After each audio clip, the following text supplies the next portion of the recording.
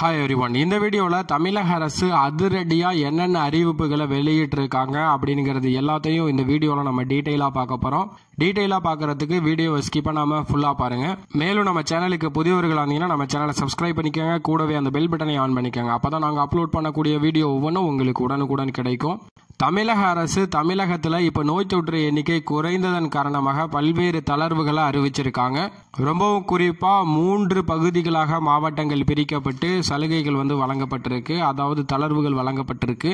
இது ஒரு புறம் இருந்தாலும் மற்றொரு புறம் பார்த்தீங்கன்னா தமிழக அரசு அதிரடியாக பல்வேறு அறிவிப்புகளை வெளியிட்டு வராங்க. ரொம்பவும் குறிப்பாக கொரோனாவால் பாதிக்கப்பட்டவர்களுக்கு நிவாரணம் வழங்குவதிலிருந்து பல்வேறு அறிவிப்புகளை வெளியிட்டு வராங்க. இப்போ முதல் சட்டசபை கூட்டத்தொடரில் அதிரடியாக என்னென்ன அறிவிப்புகளை வெளியிட்டிருக்காங்க அப்படிங்கிறத பார்ப்போம். ஃபர்ஸ்ட் வந்து அனைத்து குழந்தைகளுக்கும் கல்வி கிடைத்திட நடவடிக்கை எடுக்கப்படும் அப்படிங்கிற அறிவிப்பை கொடுத்துருக்காங்க. அது மட்டும் இல்லாமல் தரமான உயர்தர கல்வி வந்து வழங்கப்படும் அப்படிங்கிற அறிவிப்பையும் கொடுத்துருக்காங்க.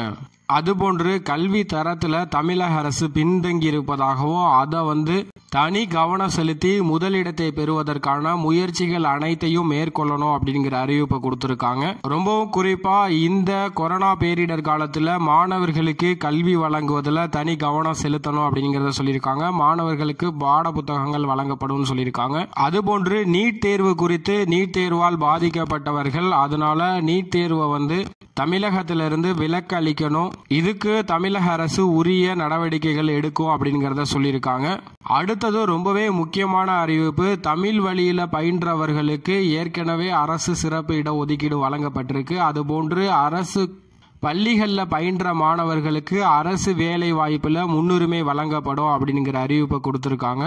அது மட்டும் இல்லாமல் தமிழகத்தில் இருக்கக்கூடிய அரசு அலுவலகங்கள் பொது நிறுவனங்கள் இதில் தமிழ்நாட்டை சேர்ந்தவர்களுக்கே பணி வழங்குவதற்கு முன்னுரிமை அளிக்கப்படும் அப்படிங்கிறத சொல்லியிருக்காங்க.